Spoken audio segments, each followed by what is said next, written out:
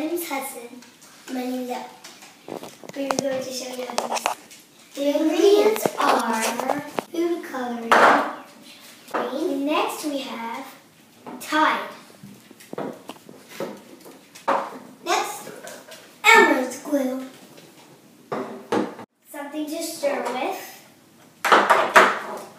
And like you should use this if there's like you have trouble getting stuff out we need to pour um, Elmer's glue in the bowl.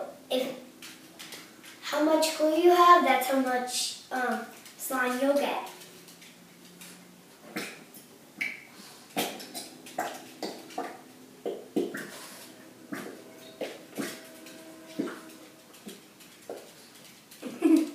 if it's not coming out, you can use a spoon or something squeeze it.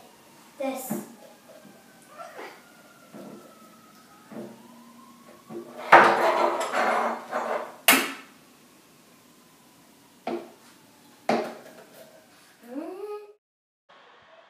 Pour the liquid soap into the glue. Start to stir. See how it's getting the grippy, gooey, yeah. icky? Yeah, like sticks together. Yeah, it's too icky, like if you want it a little bit more gooey, you can add a little bit more Tide, but yeah, later. See, I need a little bit more, so I'm going to put a little bit more in it.